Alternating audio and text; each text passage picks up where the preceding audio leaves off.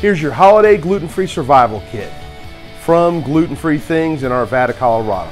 Don't starve yourself this holiday season. Put those breads back on your table that are gluten-free.